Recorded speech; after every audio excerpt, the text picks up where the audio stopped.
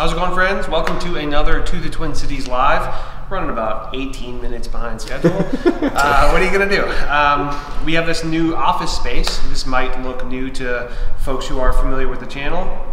And this is a big part of why we didn't do a live last week and are also late today because we are still setting a bunch of stuff up. I wouldn't get too used to this setup um, because it's mm, wouldn't make sense when you walk in. If this was a setup, this would be wild, but it works for today. Um, so these twin, you know, these videos are a, a, a deep dive into specific neighborhoods that we already are looking at on the channel. So today we're talking Apple Valley, Minnesota, um, a place that Steve and I grew up in. And if you are familiar with the channel again, you know that we do virtual tours, which we already think of as sort of a deep dive into these areas. Um, but then this is like a further companion for people who are really, you know, big into research, for people who are, I don't know, obsessing about their move in a positive way um, and really want to dive into as many places as they can and have like as rich of an understanding of these places as they can. That's what these live videos are really here for, as well as just keeping people updated on things that change week to week, uh, like market conditions and such. So, um, yeah, my name is Jesse Lynch. I run a real estate team called To the Twin Cities, hardest working real estate team in the game. You can check out our website, tothetwincities.com. Um, we have a contact form there if you uh, have any interest in working with us. Contact form there that you can fill out in like 30 seconds or less.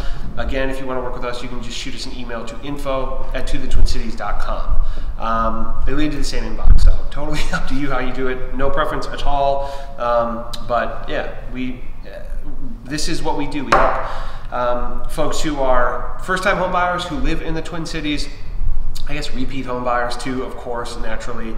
Um, we don't discriminate too much, but this YouTube channel hopes to be a resource to first-time home buyers in an educational sense, folks who are relocating from anywhere, different city, state, country, planet, uh, universe, um, to the Twin Cities, um, and and we you know hope to be a, a resource in sort of the sense of education about the area, um, not just sort of the, the, real estate process. And then now we actually just started adding these lives, which is sort of a um, supporting element to both of those things. And we also just added home tours, um, which I'm actually very excited about. They're a lot of fun to do. Um, and again, I think it sort of piggybacks on that same sense. We help sellers, of course, because we're real estate agents, um, and now we can um, have a place to showcase people's homes that we're selling um, and show them off. And we use sort of the skills that we've acquired in video and on this YouTube channel to help show off people's homes. If you haven't checked those out yet, you should, because we have, I think, three up right now, and they're all very, very cool.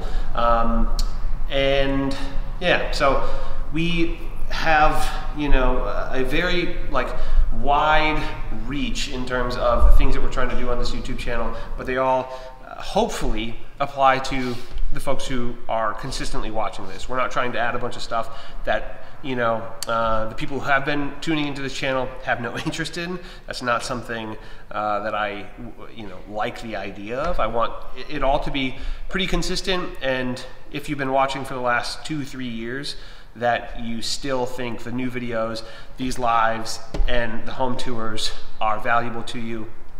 Um, and are not just something that is for somebody totally different.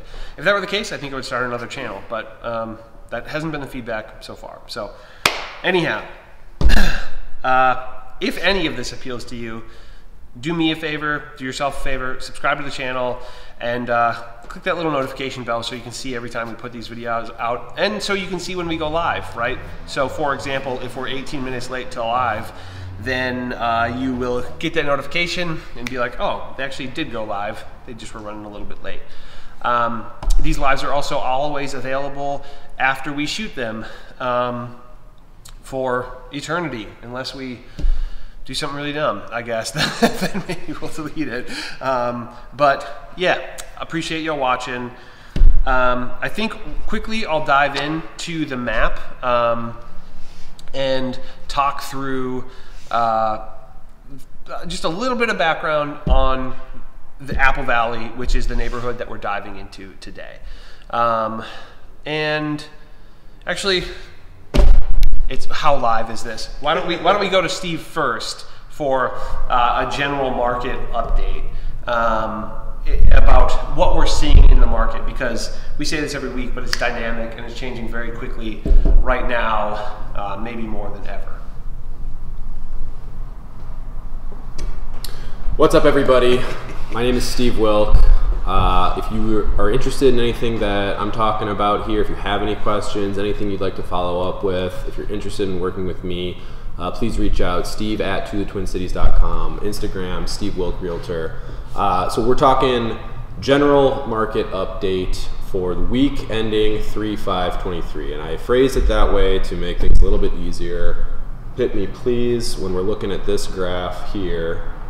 Um, so, uh, last time that I, I, missed a couple weeks with the lives here, uh, vacation, and uh, we skipped one, uh, Valentine's Day, etc. Uh, but last time I was on here talking about this stuff, uh, I mentioned, I think maybe one of the best ways to to get like a really, really um, or like compile data that's really helpful in understanding what's happening in the market right now is to take a look at showing data, right? So what that means is how many showings are being requested in the Twin Cities. Uh, that'll give you some idea of buyer competition.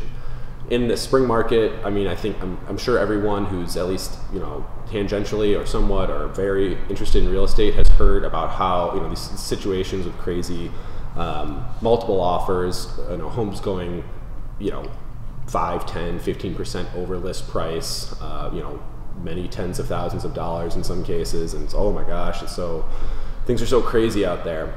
And yes, that does happen in certain you know circumstances, but uh, I think it's um, helpful and instructive to kind of look at the entire market and like instead of just like anecdotally for me let's just use me for instance i had i submitted an offer for some buyers this weekend uh, we were competing with 18 other offers so 19 total uh, we did not. Our offer was not accepted. That you know, to some of you might be like, "Oh my gosh, how could you know? How could it ever get you know this crazy out there?" Uh, that's one story that happened to one group of buyers, and it happens relatively frequently. But hopefully, this data will show kind of um, a little bit uh, more a wider picture and give you like a, a more understanding of how that happens. So. Uh, what we're looking at right now here is um, all showings that were requested across the MLS. So all of Minnesota, most of them, you know, vast majority are going to be within the Twin Cities uh, for the last week. So ending in the 5th of March. Um, pay attention here to the gray bars. The gray bars are 2023. The blue are 2022.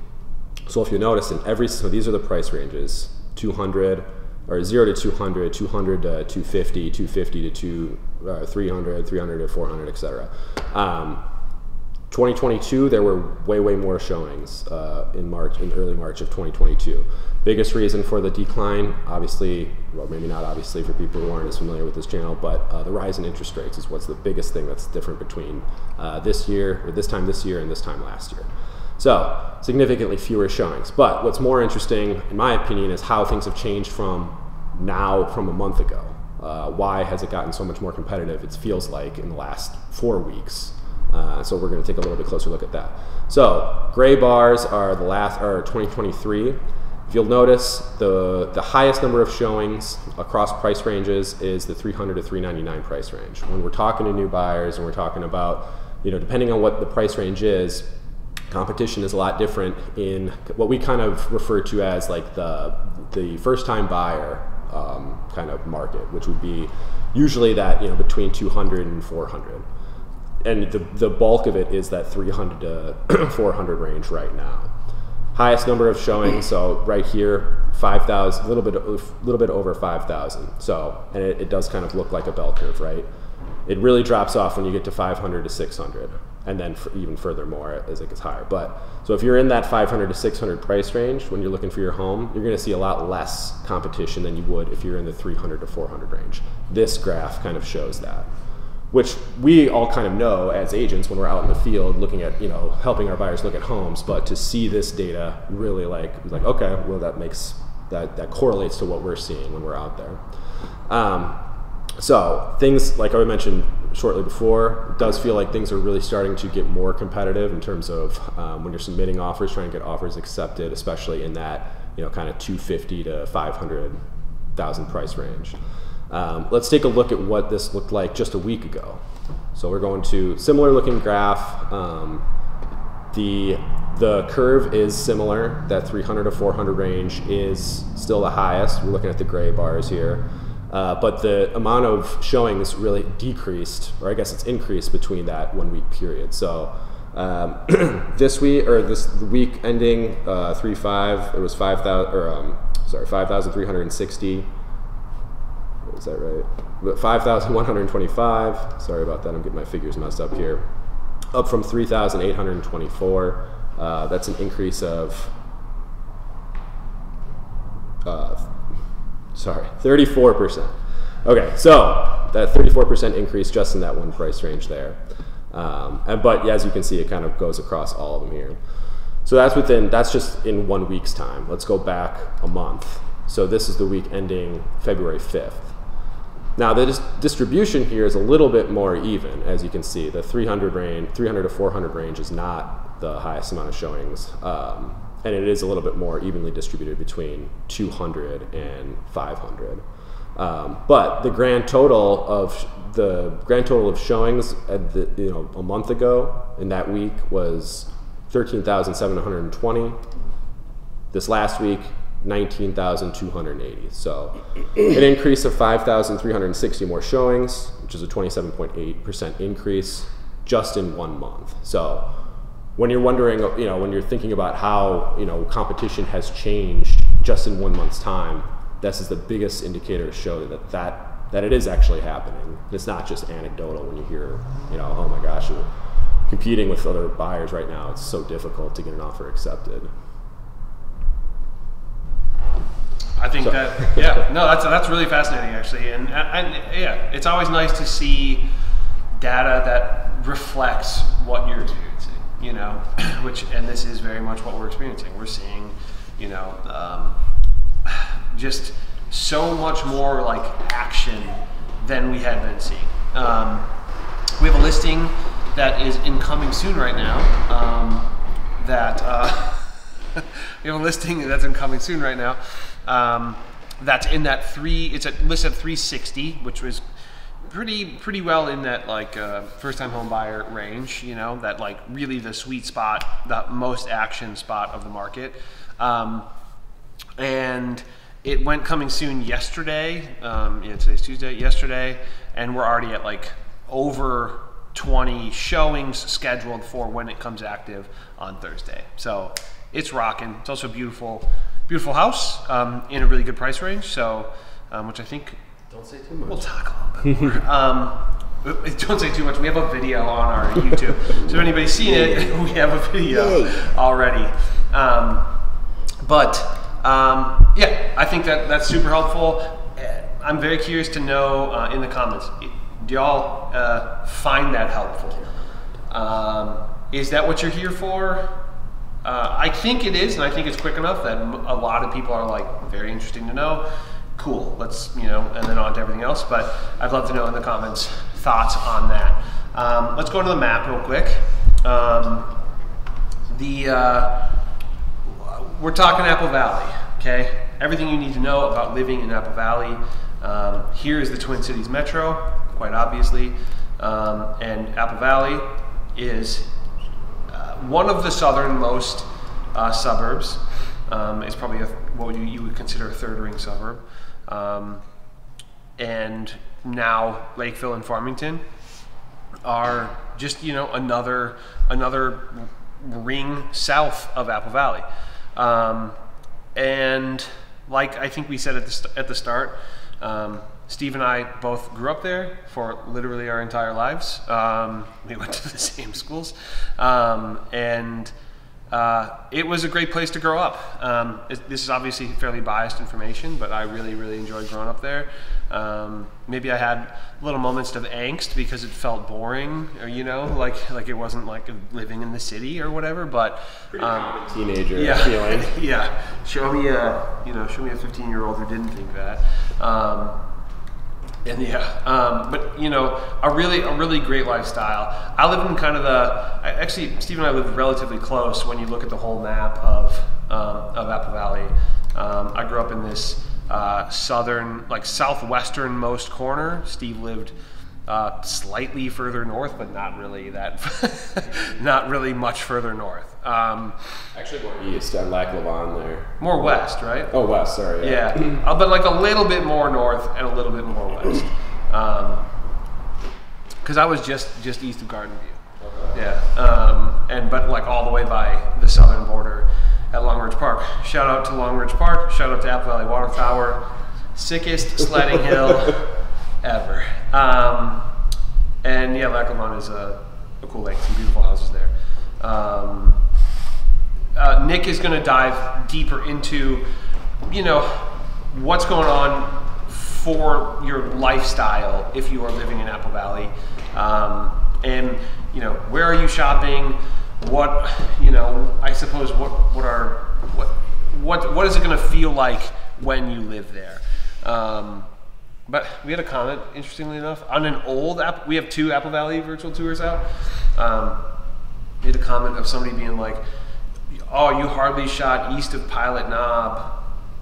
I can tell you grew up on the west, but I'm like, dude, Pilot Knob is like the eastern one eighth of Apple Valley. Like, sorry, That's And- being generous. yeah, yeah, like, um, but yeah, I just thought that was kind of funny. It's like, well, most of Apple Valley is west of Pilot Knob. Um, yeah, okay. That's a good indication, though. It's kind of hard to see where Apple Valley ends and Rosemount begins. Yeah. If you're just kind of you know driving around, It- there's not like a clear Same mark of demarcation. Yeah, yeah, in Lakeville, I mean, there, you know, there is right. It's Diamond Diamond Path Road is the eastern border, but it's like it doesn't. There's no point where you're like, I'm in a different spot. Yeah, it doesn't feel different. Yeah, yeah, and Lakeville's similar in like 160th is the border, but there's, you know, eh, there's maybe a little bit more of a um, a clear line at 160th, I guess. Um, the homes are a little bigger and more McMansiony, like just south of, of 160th. Um, sure. And I that isn't a derogatory term, just like a descriptive term. Um, and uh, yeah, shout out real quick, and then we're gonna let Nick dive into this. Uh, but shout outs to um, Kwik Trip number 406. okay. Do you want to do the same thing where you're just like mapsing so people can get an idea of where some of these things are located? Yeah, yeah, yeah. We yeah, you talk about them and I'll pull them up. I got my, I got it on my pad here. Okay. Oh, you, you Uh, got yours? Or do you want me to I, no, do it on yours. Okay. But like I'm just using mine as reference. Copy that. Cool. Uh, hope everyone's doing well. Nick Host here. If you'd like to work with me, at nick at tothetwincities.com or you can reach me on my cell phone, 612-708-8910. Happy to help with whatever.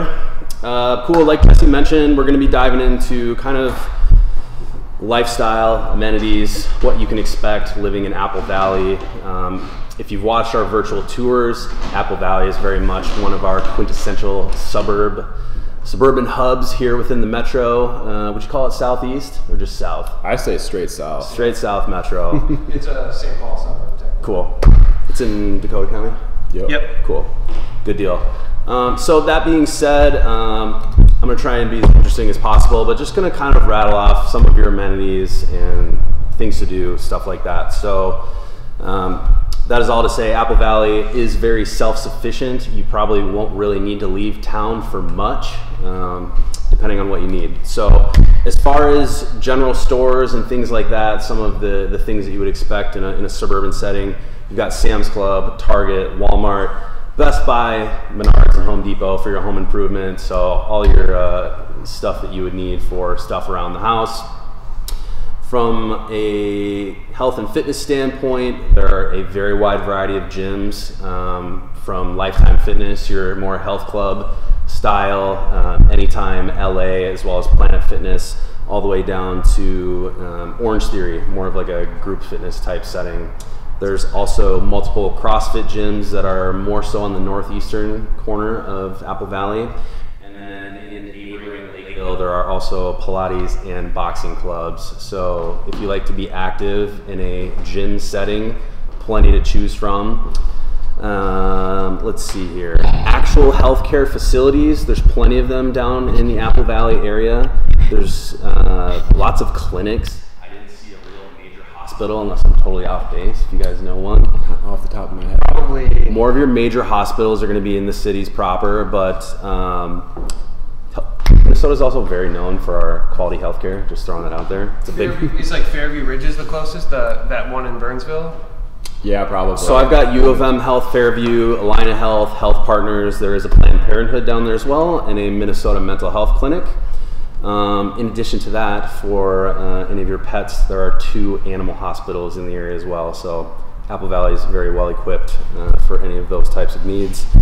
Um, from a restaurant perspective, I didn't do a ton of individual naming, very similar to some of the general stores that I mentioned above. You've got your Chipotle's, your Raising Canes, your Noodles. It's a lot of um, kind of chain restaurants, which is what you would expect. And a lot of the, I would call Apple Valley a third ring suburb. Yeah. Mm-hmm. That's kind of what you get all around the metro. Um, there's a few here and there, but that's kind of a lot of what you see down there. Do you guys have any favorite places that you'd like to plug? Shout out to Jade Island. It hasn't been open in years, but that, that was Chinese restaurant when we were in high school. So not helpful, but I needed to uh, get that out there. Didn't the dude? Didn't the dude's family we went to school with? Yeah, Spencer Zito. Yeah. If he's watching, what up? Shout out Spencer Zeta. Um, yeah, uh, I, I guess um, what's that? There's a place that uh, like for like my mom's birthday we go out to, um, and gosh dang it, I can't think of it. Uh, the tavern. Um, Which I have on here, the Tavern Bar and Grill. yeah, So for bars, uh, you've got the Crooked Pint, which is kind of uh, a chain uh, bar. There's one downtown. There's one in Chaska as well. Cool place to hang out. Cowboy Jack's, another kind of chain uh, that's around here in the Twin Cities. Yeehaw Bars, Tavern, and then Wild Bill's Sports Saloon. Um, so Is Rascals still open? Rascals was in there. I didn't want to rat off like all of them, but there's actually, Rascals. My uh, my sister is very very good friends with the owner, um, and that's like a such a long standing. I think there's a place called Celts too. Does that sound familiar? Uh, that's actually in Rosemount. Oh, is it? Okay. Celts cool, Irish cool. Bar or Irish Pub or whatever. Ir- Irish uh, Valley Diner, um, Panino Brothers. Nino's. There used to be one in Eden Prairie. It closed. R.I.P. So continuing on um, for uh, coffee joints, um, you've got a little bit of everything for our East Coast folks. There's a Dunkin' Donuts down there. Um, otherwise, you've got a handful of Starbucks. You've got Caribou, which uh, is kind of a Minnesota version of Starbucks, I guess. Maybe. Oh, yeah. You could say that. Minnesota staple. Yep. And then there's also a Dunn Brothers, and there is a Bruegger's Bagels down there. So plenty of places to go and grab coffee. But again, you're noticing the trend. A lot of these are very corporate. Your mom and pop joints are going to be uh, fewer and further between than they are in the cities proper. Uh, from a grocery standpoint, really great variety as well. You've got Aldi, Hy-Vee, and Cub, which are all relatively in the same realm. Hy-Vee has just started to creep into the metro in probably the last decade, I would say, um, which I was a big fan of, uh, being that I was uh, going to school in Iowa. Yeah, yeah. Their their buffet was killer on Sundays after you know. Anyway, uh, there's a Fresh Thyme down there. Yeah, after studying long Saturdays of studying. Uh, there's a Fresh Thyme down there, and there actually are a, a handful of uh, cool, uh, like ethnic grocery stores. There's Latinos Depot, the Mantra Bazaar, uh, Apple Valley Halal Market, and Doveport African Market, which is bordering on Rosemount. But all these places have really stellar reviews. So some really cool places to get some uh, different groceries than just your run-of-the-mill stuff that you're used to. Valley Natural Foods. Had some friends that worked there in high school. Yeah, Bradford. Uh, yeah. Bradford worked That one's Bradford worked there? Oh, for like 16 years. Oh, dang. Yeah. Holy moly! What's up, Bradford? Uh, Yeah, Valley Natural Foods for. Happy birthday, Bradford. Happy birthday, Bradford. Another Apple Valley. He's a Lakeville boy now, huh? Right? Yeah, cool. Which is close to Apple Valley. True. Coming soon. Um, so moving on, gas stations, which is obviously very important. Uh, even if you work from home, people got to gas up. You've got a handful, but uh, a lot of familiar names. We've got uh, roughly three speedways down there, four holidays. Shout out, Dude. Steve. my, my claim to fame. I love that. The holiday on Cedar uh, is dope. Yeah. That is a good holiday. By the movie theater. Holiday's great. Yeah. Yeah. I, that was my favorite gas station in Chanhassen too. I'm It's no ya. Kwik Trip, but yeah, I get it. yeah. There are three Kwik Trips. I think Kwik Trip has the best uh, deli or grocery. They have great options. Uh, there were a handful of shells and then one BP kind of on its own on the eastern side. There were others that were kind of bordering on Burnsville, Lakeville, and Rosemount. So these are all somewhat in the area. And then also, I mentioned Sam's Club earlier. You can also get gas there, similar to Costco. So need a membership to go there. Uh, one thing that I don't think we've really covered in some of these other cities that I touched on briefly is public transit in Apple Valley. It is a little bit further out. Um, I wouldn't say that our public transit here is super robust. It's definitely there. But when you're getting further out, it's definitely going to be more of a bus centric system. We do get a lot of people asking about the light rail, specifically heading out on the western side, which has been put on pause. But all that is to say, um, the Metro Transit Authority, in conjunction with the Apple Valley Transit Station, run the Metro Transit Red Bus line, which uh, has many different routes. So let's see. Just a few things to do that I touched on. Didn't go crazy, but um, and you guys might have some feed, feedback on this. But there's the Family Aquatic Center by Eastview High School. Did you guys ever go there? Didn't mess with that very much. Okay. I once played a battle of the bands there. Oh. It's obviously So- seasonal, but uh, that is open this 2023 season from June 8th through August 25th, roughly, uh, depending on weather. You can get seasonal passes there for $110, or a day pass is $13 for everyone 12 and above. Um, also, the Minnesota Zoo is on the northern part of the city. It is the largest zoo in Minnesota, as far as I know. Um, For ha- sure. Haven't been there in a while, but it's a really nice facility. Um, day passes there range from 14 to 20 dollars, and that is excluding parking. So, it could be a pretty affordable family day trip if you wanted to do something like that. Um, and you can also get an annual membership, which vary from $65 annually for an individual up to 300 for um, family and friends, depending on what tier you go for. But I know that's a large attraction um, in that area. Also, uh, one of the largest parks is the Alimagnet Park, which is on the western side, bordering Burnsville, if I'm not mistaken. Shout out. Spent a lot of time there playing ultimate frisbee in high school. It's a huge, beautiful park that offers a lot of different activities. There's also a seven acre enclosed off leash dog park, uh, Alamagnet Dog Park. And a good one. Yeah. Yeah. Other than that, that's one of the largest parks. Um, to the north, on the Eagan side, is Lebanon Hills, which again is not strictly in Apple Valley, but that's probably the largest regional park.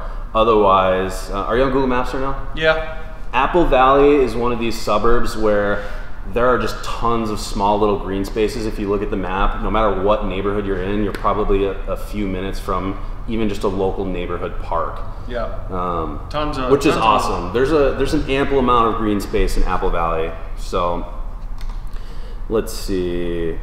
Okay. Uh, last but not least, uh, Valleywood Golf and Events Center, which is very near to the Minnesota Zoo. It's actually one of my favorite golf courses.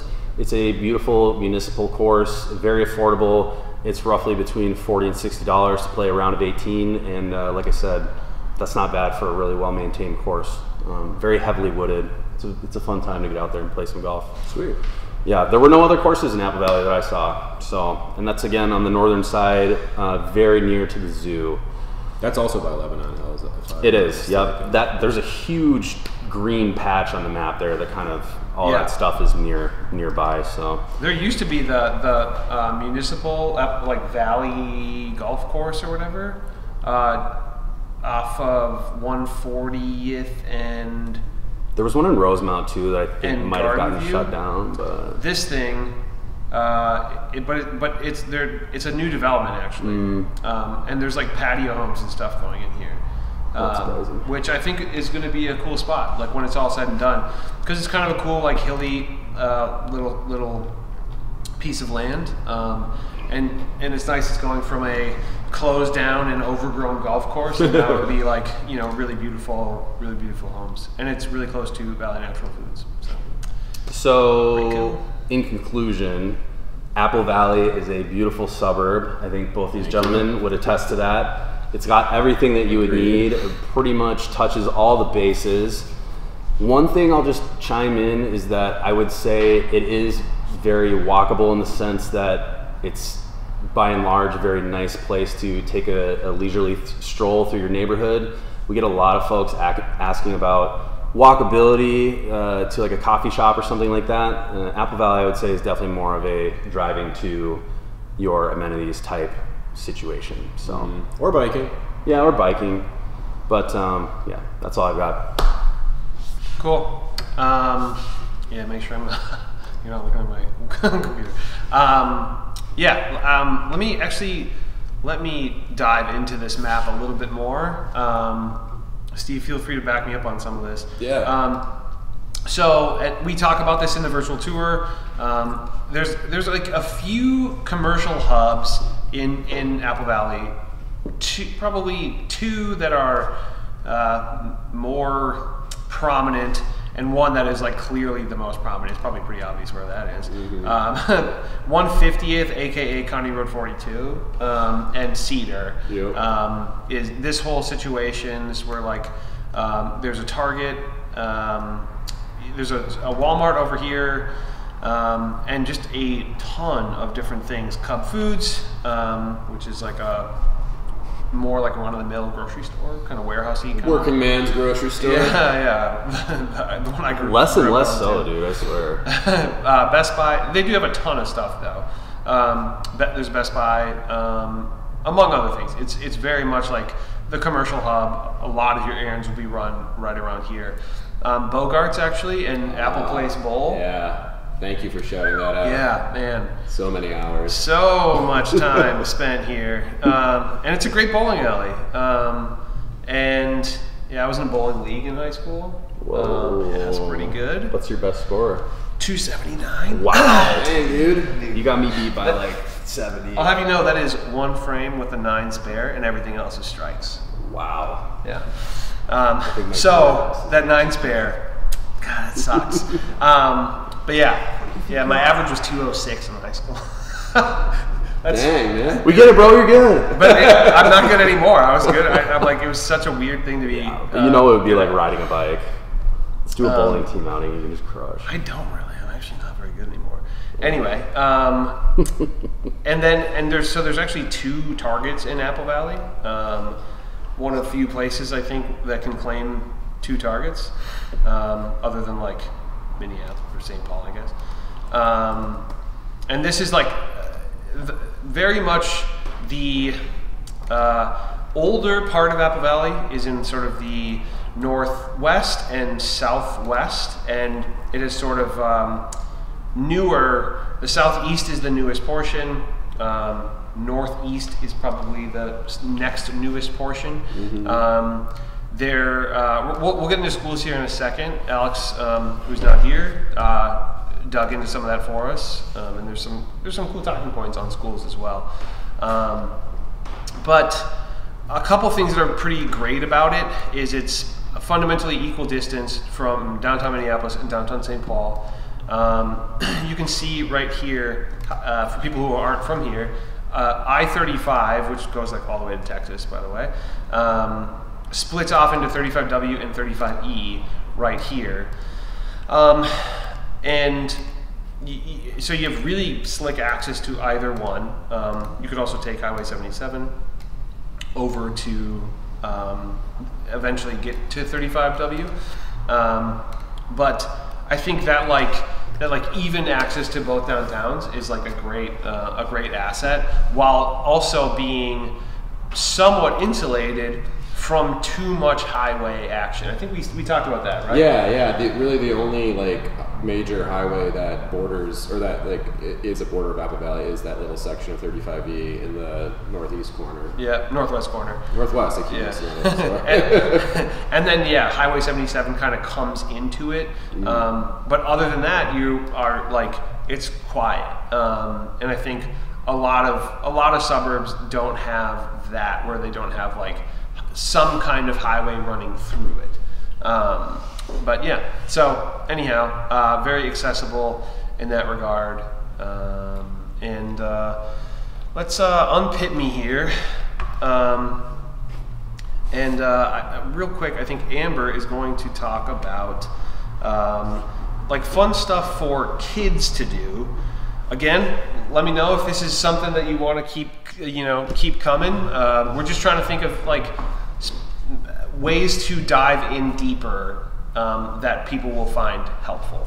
Um, and so, hopefully, um, this is one of them. Uh, I gotta pull up a link here, otherwise it'll be weird. I think. Um, okay, and I think you can go to Amber here. Uh, isn't there a float on top thing? Boy, not exactly my best work. Um, isn't there? It's here and it's not letting me, so I don't know why. Okay, can you hear that? Hello to the Twin Cities fam. How's it going? Speaking of family, today the segment I'm going to be talking about is things to do with your kids in Apple Valley. First and foremost, I do want to say some new products have come in for my kid bag that uh, they have color books, crayons, and a plethora of awesome books. So anytime the kids are there for the showings, uh, for inspection walkthroughs, to the Twin Cities team has stuff to keep them busy. So let's dive in. All right, first one I want to talk about because I'm just so excited for summer to come around is the Family Aquatic Center and Pool. So typically this is open around June 8th to August 25th. Um, the it's a huge water park. I mean, huge. It, it's it's so beautiful. Um, has outdoor swimming pools. It has a spray ground instead of a playground, a spray ground. Um, this is kind of for all ages where it has just like all types of fountains and things for kids to like run around in and it's a flat area. So parents can kind of hang out nearby. Kids can kind of go play in the little splash zone. Um, they have, um, it has a capacity about 1600 and um, it has a lazy river, tall swirling water slides, the splash pad for all ages, um, concessions. So I remember as a kid wanting to go to you know certain beaches or certain um, water parks, and there's just something charming about getting to, you know, go get your you know whether it's chips or soda or candy at the concessions while you're sort of in your swimsuit doing your water park thing. Anyways, very fun. Um, they have uh, multiple pools and even a deep dive pool, which is also really fun. And you can reserve for your kids' birthdays. So that is uh, that's the first one I'm talking about today. Um, of course, during the summer months only.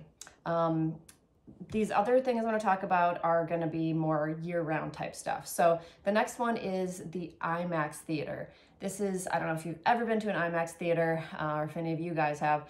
It is so such a cool experience and you're kind of like well what's the difference between the imax and a regular movie theater? So the difference is they have they use high resolution cameras the film formats the film projectors. It's um it's a different uh, ratio. It's uh, 1.43 and um, these screens also have um, it's it's like steep stadium seating and the screens like from top to bottom. And then the audio experience is also like super incredible. So besides the visuals just sort of consuming all of you the audio is really cool too. Um, i saw a movie there uh, a few years back and i was definitely wowed by just sort of you are in the movie you're in the experience. So that is one you could take your kids to um, there's a park called Farquar Park. Um, it's an 11 acre park. It has lake, a fishing pier, canoe access, um, lots of amenities. Uh, they also include playground equipment, tennis courts, volleyball courts, um, and they have, so if you want to have like a picnic with your family or like a little reunion or something like that, you can go use those picnic tables. Um, they have, they're like set for groups of like eight to 10 people. So it's a great space to get outside um, any time of year. You can go check this out in the winter. Uh, fall time is always really beautiful with the leaves, but um, yeah, just go check that out. Uh, fourth, we're going to talk about is Little Orchard Preschool and Family Enrichment. Um, and so what I love about this, uh, they have a discovery zone. They have a preschool program that um, is kind of play-based interactions and sort of hands-on projects, which I think is really great for kids. Um, and then uh, they say that they foster each child's intellectual, social, and emotional development. Um, they also have family enrichment classes, which to have everybody involved, I think is super awesome and important um, to grow together as a family. So they have these parent-child classes and multi-generational events that they can, you know, everyone can join into um, to to get everyone together and, and learn at the same time. So that is the Little Orchard Preschool and Family Enrichment. Um, we got two more to talk about. We're going to talk about the Apple Valley Community Center. So they have a family open gym. So they also have a pre-K gym, you know, get let your kids run off some energy, meet some other kids, and just have a great time. The family gym, they have open courts for shooting, playing catch, running, walking laps, uh, pickup games, um, training drills, like that kind of stuff. Um, obviously, the adults have to be there to supervise the kids, but this is like a great way. You're kind of cooped up in the winter. Go to the open gym with your kids, go play some basketball, run around. It's an awesome time for everybody. Last but certainly not least, um, because I remember attending this Freedom Days summer event when I was a kid, and wow, those memories are burned in. Um, they have, uh, this is in July, um, around the 4th of July, um, multiple day event. They have music in the park. They have an awesome old car show. They have a carnival. Oh my gosh, the rides and the cotton candy, so much fun. Um, they have a parade. I definitely remember going to this parade, the candy getting thrown, um, all the different, you know, the trucks and the people and the, the dressed up, you know, sort of like um, mascot people. Uh, anyways, so much fun. So they have a parade. They also have a two or a 5K fun run uh, that you can sign up for. And they have a Cub, Cub Foods, which is one of our big grocery stores here in Minnesota. They have a Cub Foods Family Day. This includes face painting, big fan of. I remember getting, you know, butterfly on the side of my face. Did you guys ever have anything painted on your face as a child? Uh, if so, what were they? Let us know in the comments.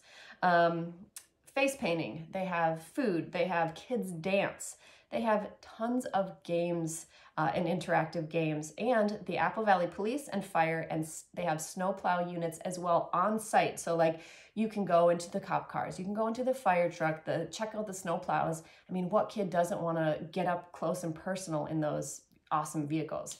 So um, that is the Freedom Days summer event in Apple Valley. Um, go check that out this summer, whether or not you're from Apple Valley or you live there. Um, it's a great event, great way to meet people, uh, get kids involved, and just everyone have a ton of fun. So, you guys, uh, throwing it back to you, and let's hear more about Apple Valley.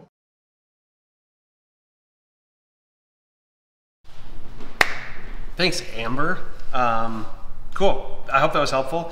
Uh, uh, Matt, thank you for all those very nice comments.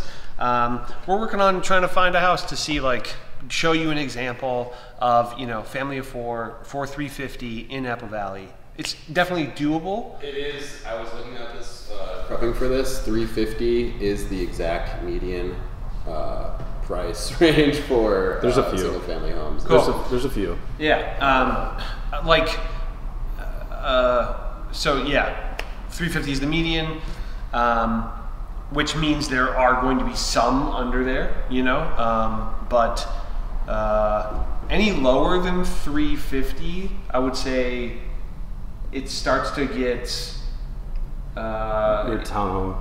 no, well, there's single family, but it's like generally like the three to three fifty range is where you'll maybe find a single family. Really, no lower than three for sure in, in Apple Valley.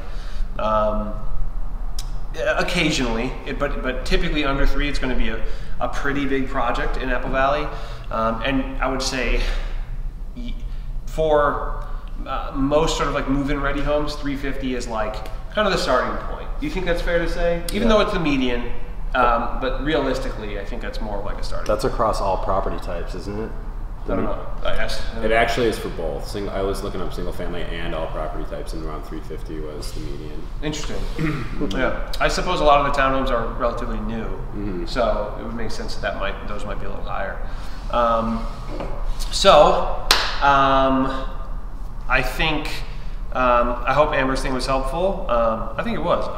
Uh, a couple things she talked about that I think were like I'm like, oh yeah, I like those were those are big. Um, the aquatic center, which Nick mentioned as well. Um, I just remember playing the battle, battle of the bands there. Um, the IMAX theater was very sick. Um, that's like in the zoo or like Yeah. at the zoo, um, which. But I remember like doing midnight showings at IMAX was like the thing that people wanted to do for. Um, I don't know, like Lord of the Rings, Matrix, and the Resurrections. Matrix, yeah, yeah, yeah, or um, or other ones people did, like uh, Pirates of the Caribbean. I feel like people did people did those midnight things. Um, Star Wars. Star Prequels. Wars, yeah. Oh yeah, yeah, yeah, yeah. The prequels. Actually, I think I saw the the redos of the original three. Oh, okay. Like the In remasters.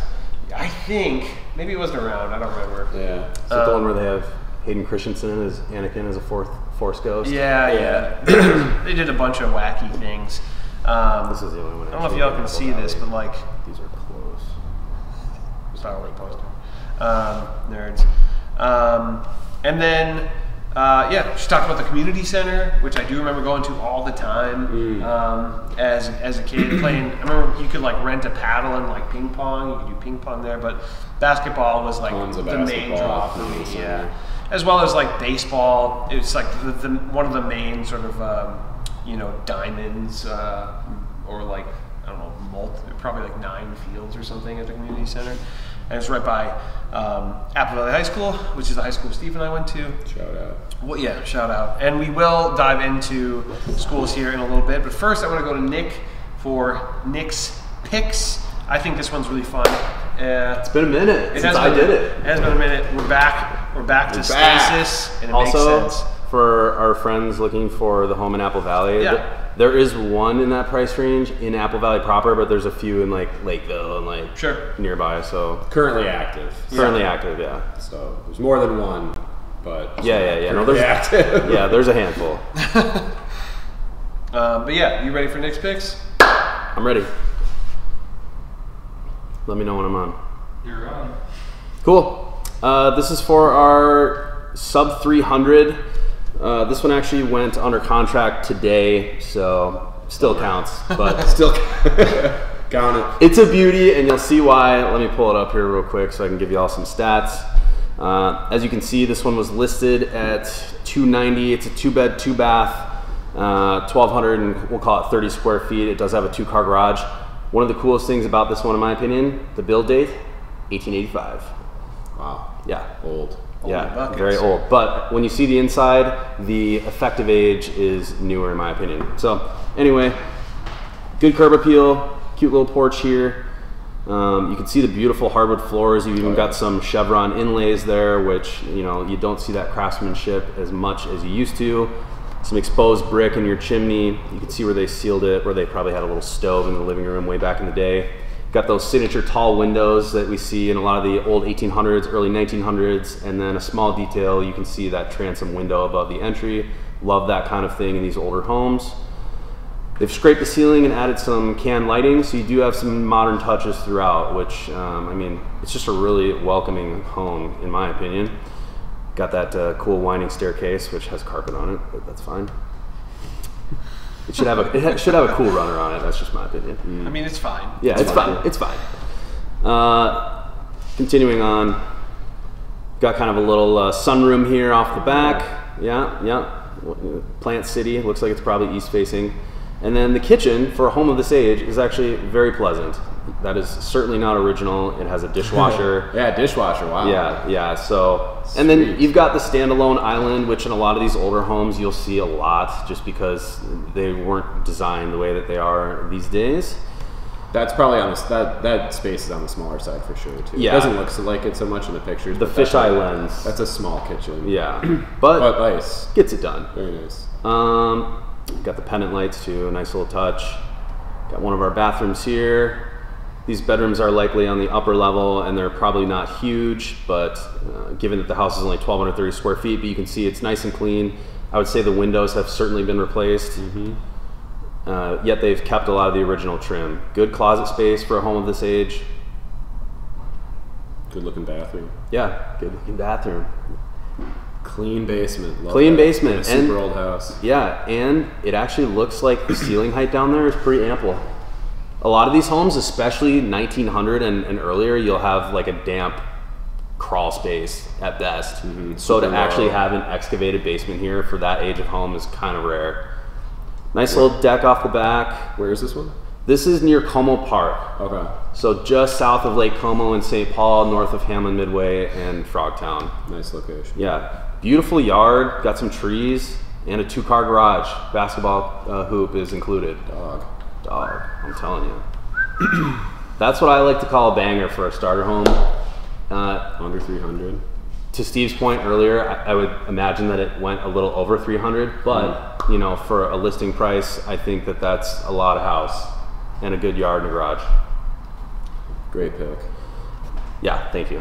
Um, so moving over to the next one, we have a beautiful, just amazing mid-century home in New Hope. Oh. This one's actually coming soon, uh, listed by this Jesse Lynch guy. I feel like we know this this guy. Yeah. So shameless plug here. Uh, 5931 Wisconsin Circle coming soon. Talk about a showstopper. My God. Yeah. Are you mic'd That up, Jess? picture. I am mic'd up. Let's hear it, man. This is yours. I mean, I, there's a whole video on this on this particular house on this channel. If you uh, haven't seen those yet, this is the most recent one. I love this place. Um, Sweet Pea was there with me. Um, such a cool house. The owners have taken just outstanding care of it um, and updated it in a way that I think is just like very uh, true to mid-century design, um, while also making it like modern. Right? They opened up a whole a whole wall that separated off the kitchen. Um, that alone, like that's like the update of updates in in, in any house. Um, Tons of natural light. yeah, and I love one thing. If you go back to the where there's that like transom window, yeah, you can kind of see it on the left of on, on that. Here, I'll Uh, bop back over. Okay, yeah. So it's a split entry. I grew up in a split entry, uh, but that window over the door and the fact that there's the, the two windows on both sides of the door. That window is- over the door is giant. yeah, it's, it's yeah, it is literally giant and also giant in terms of the amount of light it lets in. A lot of these split entry homes are, um, they're dark in that entryway. You know, dude, our, yeah, our, ours was like totally dark, um, and uh, that I think that's like just such a a cool part of that home. I believe that's original to the home. It at least was on there when these buyers bought it. Um, it's also a two-owner home, so they've uh, like the original owners and now the people who have done these renovations, who I think have been incredible stewards of this home. Um, backyard is so sweet. Look at those railings.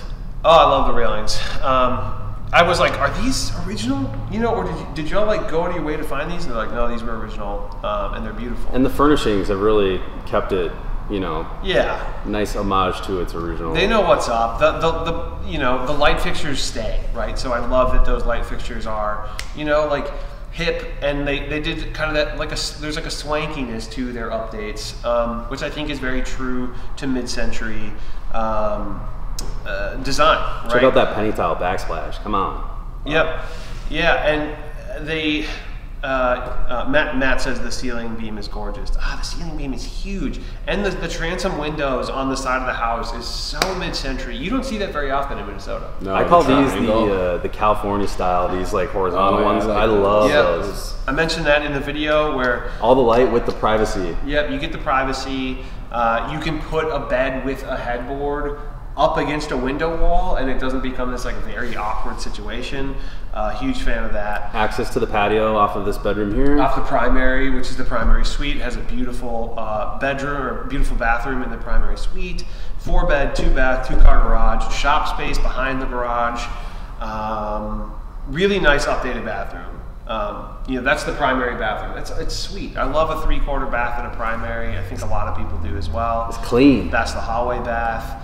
Um, yeah, I don't know. Hope I'm not going too fast here. No, it's good. Yeah, it's good. Um, the uh, I love the basement. Really, really cool basement. The fireplace down there, um, super cool. Yeah, look at that. I love That's a nice that looking fire. photo. Yeah, Go back, go back one. That's yeah. So sharp. They that brick is painted. I love that layout. Very mid-century uh, fireplace layout where the the um, I don't know what do you call it. Why can't I think of the word? The hearth. Meh. Words escape me. I was doing pretty good. Yeah. um, but yeah, I think it's, it's just a really nice uh, finish of that uh, of that basement. There's a, a very clean uh, laundry room down there. No photos. Look at that cozy little family room down there. Yeah, great like movie night spot, um, and and good size down there. You know, it's, it's a it's a, And the tile in the hallway down there matches the split level entry, which is just so sick. yeah, um, yeah. No pictures of the laundry room. Um, Beautiful yeah. backyard, patio space. uh, patio furniture, negotiable in the sale, um, and it is it's huge. Um, like the the current pa- patio furniture, you could fit I don't know twelve people out there, It's like a sectional. Yeah, something like that. Yeah, it's huge. Um, And let's talk about the curb appeal. I love that curb. appeal. Come on, man. Yeah, um, during the summer too, it's beautiful. I've actually I like know these people. I've been there in the summer. Um, it's just a it's a beautiful Even spot. got the updated address plaque. yeah, yeah. They've done a great job. And this is all for only three hundred sixty thousand. Three hundred sixty thousand What a dollars steal. price. It's at the end of a cul-de-sac. Uh, if you were to look at like the the map situation of it, it's like in a very quiet, tucked-in spot in in New Hope. It's like a block from like a lake park, maybe a block. Uh, yeah, probably about a block from this like really great walking path and lake. Um, very private feeling down there. Awesome neighbors. Um, uh, yeah, they, you know, I don't know. It's just got a lot going for it. I'm glad that's on Nick's Picks. Um, I think even if it wasn't our listing, it would have been on Nick's Picks. Yeah. Oh yeah. Open house this weekend, Saturday, Come 12 through. to 2. I'll be we'll see you there. there. I might be there. And if you're interested in a showing, reach out to any of us or the man himself, Jesse Lynch. Absolutely. If um, uh, Matt said, uh, I'm going to be showing this to my wife, do you know what schools it's zoned for? It's zoned for uh, Robbinsdale schools. Um, I don't know specifically what, uh, like what schools it serves, um, but yeah, Robbinsdale schools. Um, yeah, a lot of value. Um, that said, I did mention a place that we have over 20. As we were sitting here, I got three more showing requests. So it's gonna be a, it's gonna be a busy one. Um, and you know, uh, yeah, it's, it's a cool spot. That design, it, it's hard to come by that design often. Mid century comes with a premium, especially Yeah. when they look like that. when it's well done. Well Yeah, done. totally. Nice job to the homeowners and Jesse. All right, moving on to our 550 to 750,000 price tier. We have this beautiful home in Bloomington. This is a five bed, three bath, 2,945 square feet. It's a beauty. So we'll just kind of cycle through some of these. This is coming soon. Let's see if there's any other data to add. 0.36 acres, so it is on a very large lot. Uh, Bloomington School District. So we'll just kind of go through some of these. I just really loved this house. I think a lot of the updates were very tasteful. Beautiful. What's the build date on this? 1968. So very similar. The last one was 63. So kind of sticking in the 60s today. Beautiful hardwood floors. I love the navy blue wall. Uh, it doesn't hurt when people have good taste in furnishings and artwork. Can lights. Love that. Yup, can lights. You got the electric fireplace, which I'm actually a big fan of because you can get a larger TV and lower the mantle. Just me. Or you could put a huge. Uh, is yours a Samsung frame, Jesse? It is. a same They make large Samsung frame t- TVs, so it just allows more room for that. Yeah. Uh, beautiful renovated kitchen with the island. Everyone loves the island. Great for gathering around. We've got the quartz counters, white shaker cabinets, nice fridge, pendant lights. What's not to like? Little dining area there. And we've got this. Uh, uh, I'm not sure. Three, we'll call it a Three season season? porch. Yeah. That's actually pretty huge.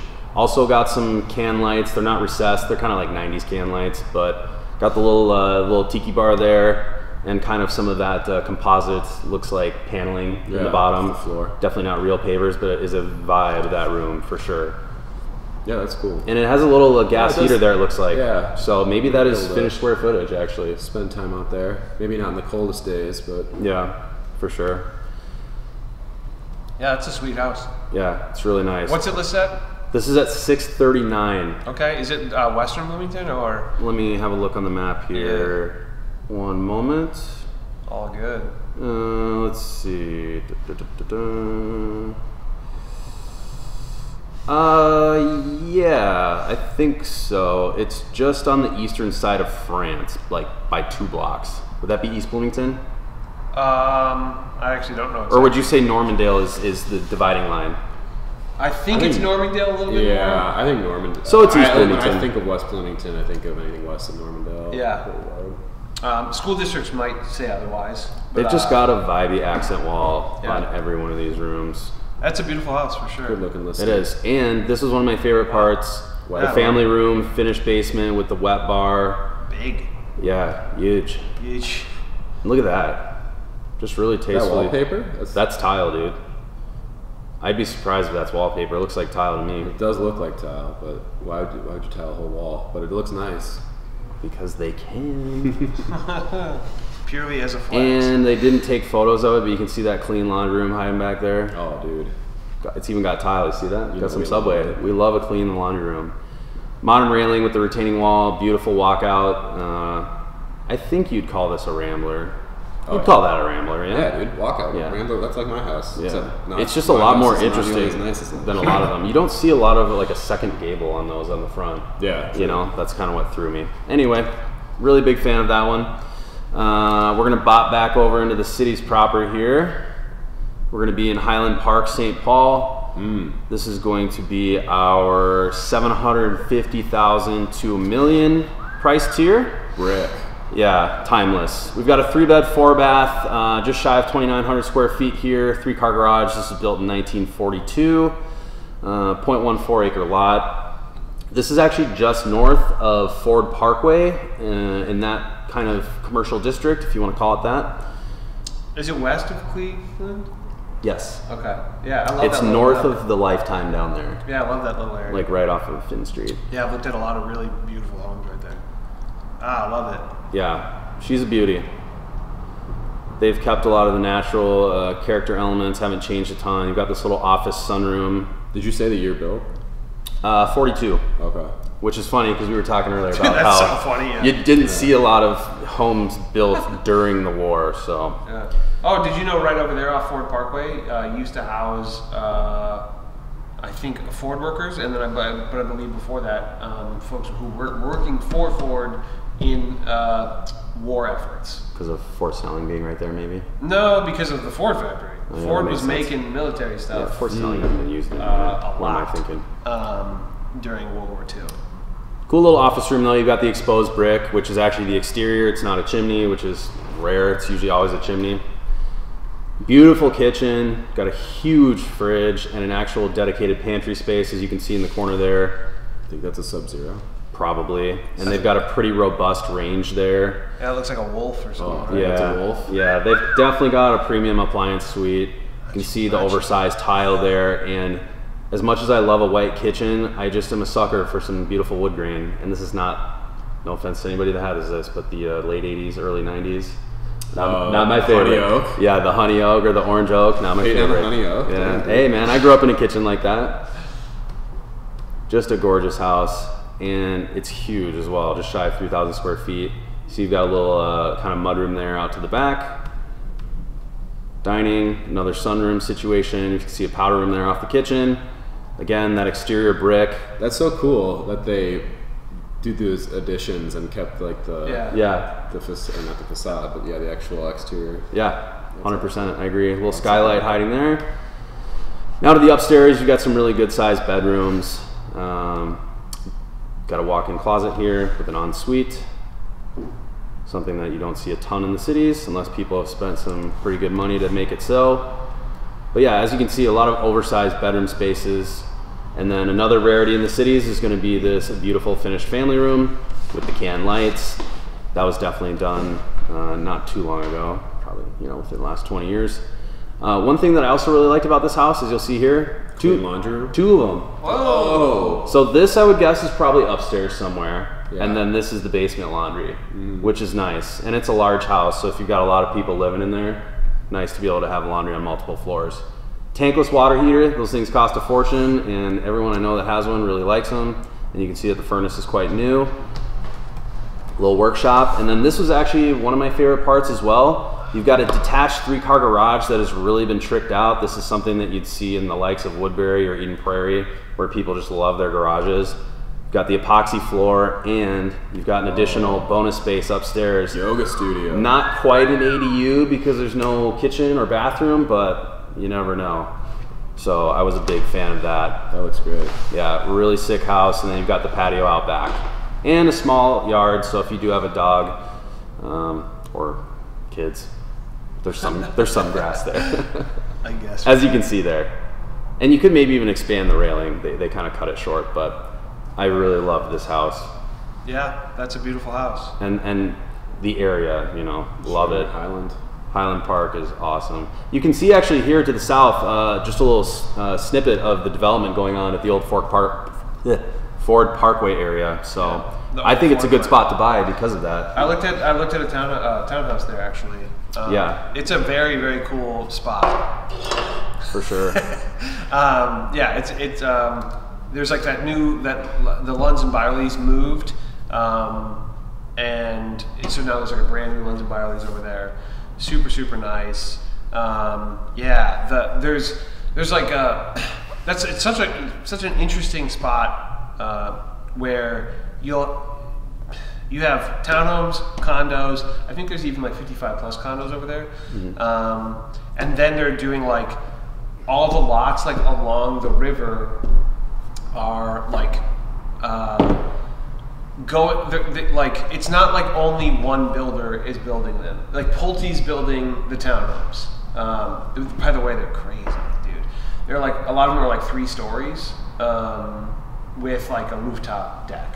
Um, they're wild. Um, but then the lots along the river with like awesome views. You can also see uh, Mississippi River or Mississippi Lock and Dam number one um, from right there, which is a, a cool spot. Um, but the homes that are being built there are being built by like all different builders. Um, so like custom homes being built along there, not just you know, let's say Pulte just putting in a bunch of the same looking home, which I Spec think homes. yeah, I think that will really um, make that area particularly cool. And yeah, there's all sorts of like interesting irrigation and stuff that they've already done, like interesting, you know, uh, water features and, and stuff like that in that in that little area. Um, worth checking out if you are uh, nearby. But you got one more pick, right? I got one more, and I'm really pumped about it. Hit it. Are we on? Am I on? Yep. Sweet. I saw this today and I was just really excited about it. So, this is a massive duplex in South Minneapolis in the Standish neighborhood. It is an eight bed, eight bath. So, count them up. That's four beds and four baths per unit, side by side, which is hard to come by. This is just shy of $1.3 million. So, she's spendy but 5,400 square feet. This was just completed recently in 2023, two car garage. So, contemporary modern design from the outside, you can see it looks pretty awesome. And just everything you would love about an open floor plan. It's almost like owning two tricked out townhomes, really. True. Yeah. This is something that you would typically see in the likes of Linden Hills or Fulton, Yeah. but uh, you don't really see these very often. So I just thought I'd show y'all. Yeah, um, there's some new builds going in in like uh, like Longfellow, like Cooper and Howe. Um, looked at one of those relatively recently. Um, Single like- family? Yeah. Yeah. Um, yeah, nothing like this. Haven't seen any of those. I know which ones you're talking about. There's a very particular style that I think the city is stamped off on because they all look very similar. Yeah, kind of boxy. Yeah. Tall. Yeah. But Mhm. cool. They look Yep. very sharp. Porches, usually like a little front porch situation. That looks beautiful. It's ridiculous. Are the two sides mirrors of each other? Yeah. Finishes are different, but they're mirror images. That's cool. Yeah, it's awesome. And Yeah. it does have a two car garage, so one for each unit. And then I would imagine you could probably add a parking pad. I will say one for each unit is an interesting. I know, I almost figured for that price you should have just built a four car personally, but Four ba- yeah, four baths and yeah. one one. Throw an ADU door. back there, why not? Yeah. Four baths. So you can Four see the finishes are a little bit different here. They went for the kind of farmhouse tile versus the uh, modern textured subway, but great kitchen space, super open. Looks like they've got vinyl plank floors, but kind of like a light oak looking imitation. This one's vacant. Obviously, doesn't have any furniture, but more or less the same. I'm just a geek for multifamily, and this is probably one of the nicer ones I've seen in a while. Finished basement, can lighting, another bathroom, and then like a guest room or office. And there's your garage. Hmm. Yeah. the bathroom to garage ratio is just I know, interesting. I think a four car would have been more appropriate, but I will also say, uh, as I live nearby, this area of South Minneapolis has larger lots. This was built on 0.17 acres, which I would definitely say is above average for the city. Um, so yeah, Cool. sweet. that's all I've got for you. Sweet. All right. Uh, we're going to talk about schools now in Apple Valley. That was a little bit of a departure, but now Yeah, we're going to dive. No, that's all good. Um, uh, maybe we should. Yeah, probably maybe I should. I'm usually last. Um, the uh, schools in Apple Valley are, a, I think, a big attractor to the area. Um, Steve and I both came from it. We are obviously outstanding people, um, and uh, I think I had a very good experience. Um, obviously, I'm fairly removed from it now. My my nephew, however, just graduated from Apple Valley High School. He had a great experience. Very well well-rounded young man, um, and yeah, uh, very much enjoyed his time there. Played hockey, played varsity hockey. You know, they're not going to be uh, winning state, you know, like often, but it's like Maybe in play. wrestling. Yeah, actually, there's there is some interesting stuff in athletics, but that was specific to Apple Valley High School. There's also Eastview High School, which is a newer. Um, yeah, a newer school in Apple Valley. That's going to be more in that northeastern corner of Apple Valley, where there's much newer homes and frankly bigger homes. Um, it's like it's a more slightly more affluent section of Apple Valley um, that is served by Eastview. The western side, the older side of Apple Valley, is served by Apple Valley or by yeah by Apple Valley High School. Um, Eagles and Lightning. Yeah. right? Eastview Lightning. Um, so, uh, and it's Independent School District 196, ISD 196. Um, that serves Apple Valley. It also serves Rosemount, Eagan, um, as well as uh, parts of Burnsville. It serves parts of Lakeville.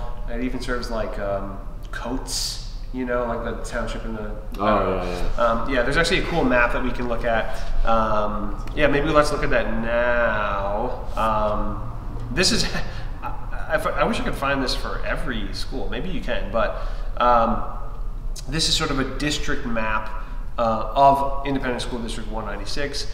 You can see kind of here, uh, the green stars are high schools. Um, and so like this is specifically Apple Valley. So it's mostly this sort of section right here that is all Apple Valley, and then this side is Rosemount, where it gets a, a, quite a bit more uh, rural as you get out to the east. Um, you can see uh, the star at 30 and 32. 30 is Apple Valley High School. 32 is um, Eastview High School. Um, and then 34 is the School of- of Environmental Studies, um, aka SES, aka the Zoo School. Um, School of Environmental Studies is, uh, we talked about this in the virtual tour, but if you haven't watched it yet, a very, uh, it's the only school of its kind in Minnesota. Um, there might, there probably are others nation, nationally, um, but it's very much a a school. It's like a, a different learning style, right? I remember like those kids felt like aliens a little bit to me. Um, where they'd be like, "Oh yeah, we learned like this," and I was like, "What? That seems so wild." Um, but a lot of I think very bright kids went there, um, and uh, yeah, it, it's a little more. Um, Interdisciplinary, I think, is how I remember it. Interdisciplinary. That, yeah, that's a good way of saying it. Um, and uh, you know, like you would spend time in nature more. You know, like they would go outside uh, for their classes um, way more than we did at Apple Valley. Um, maybe went outside to get to a portable or something at Apple Valley. Um, but yeah, and, and it's obviously like um, connected to the zoo, so they had access to those kind of things. Um, it's a yeah. Anyway, it's a very cool school um, that uh, people seem to speak very highly of. Um, yeah, this this is just a, an interesting uh, website um, that I think people might find interesting. Um, but you can see over here, parts of Burnsville as well are served by Apple Valley High School, um, 30 over here, and it's like this kind of right around 35W, 35E. A lot of those kids went to Apple Valley High School. Um, and likewise with Lakeville. Some of my very good friends growing up were from this like Lakeville section.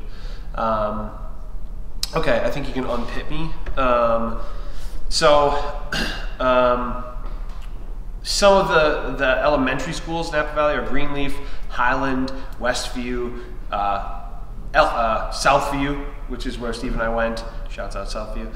Um, middle school, uh, you have Diamond Path, you have Falcon Ridge, and you have Valley Middle School. Steve and I went there, um, which is connected, which is now a STEM school. Yeah, it is STEM school now, uh, but it is still connected to Southview. Yep, yeah, connected to Southview. I used to walk to middle school. Did you walk to middle school? Oh, yeah. Yeah. So did my mom, uh, first grade teacher at Southview for like 20 years. Oh. Shout out, mom. Shout out Steve's mom, Mrs. Wilk. Um, the uh, it did receive uh, Independent School District 196 did receive um, Blue Ribbon Schools Program Award, um, considered the highest accolade an American school uh, can receive, um, and uh, it also has high in diversity. It's the 22nd most diverse public high school in Minnesota, which definitely was not when we went. Correct. Yeah. Uh, but Anecdotally, I remember it not yeah, being yeah, super. yeah. I mean, maybe at, maybe at the time it was, but um, yeah. So um, it rated very highly on niche.com. Overall grade of an A.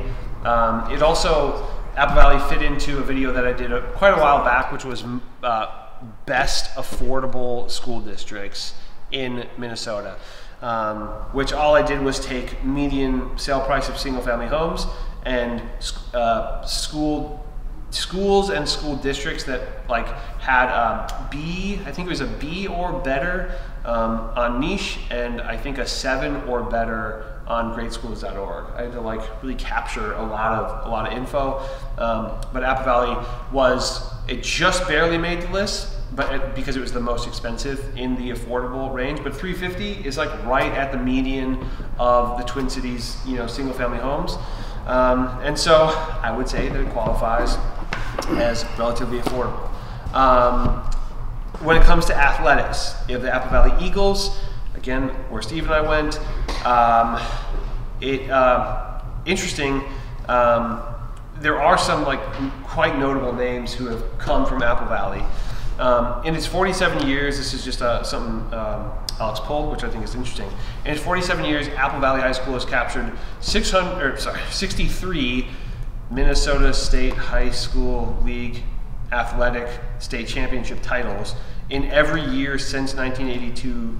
Uh, since the 1982 and 1983 school year, the Eagles have captured at least one state athletic championship.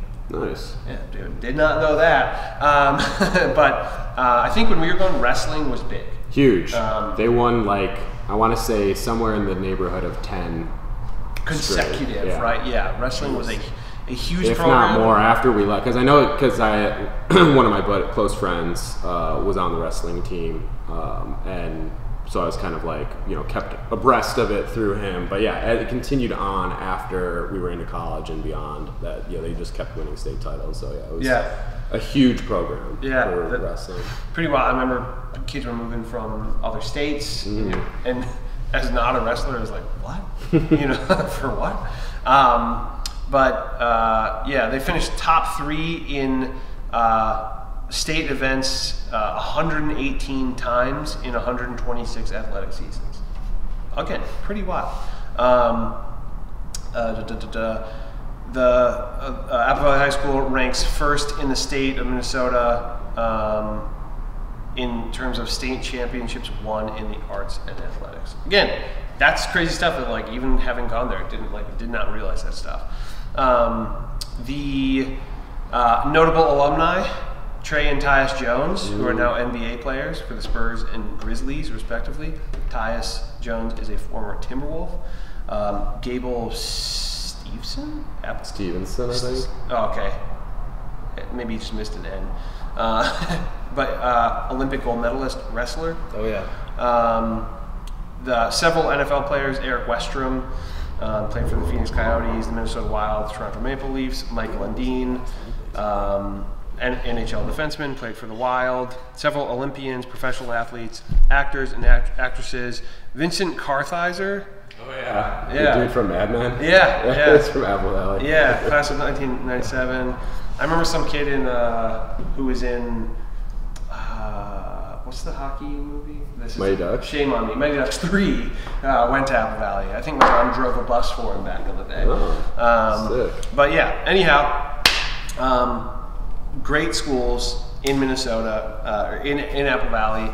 Um, kind of regardless of which one you go to, is we're going to have very high, high ratings. And uh, yeah, we have no more questions.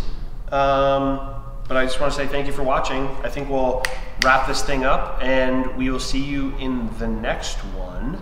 And uh, as always, if you want to work with us, to the thetwincities.com, or you can go to uh, just shoot us an email directly to info at to the thetwincities.com. Uh, check out the, the videos that we just put out, both on Apple Valley, but also the home tour videos. We're going to keep those coming and hopefully give you a very robust look at you know what money uh, affords you, what homes in different areas. So appreciate you watching. See you in the next one. Happy Bye. birthday, mom. Happy, birthday, birthday, Bradford Mrs. And Mrs. Wilk.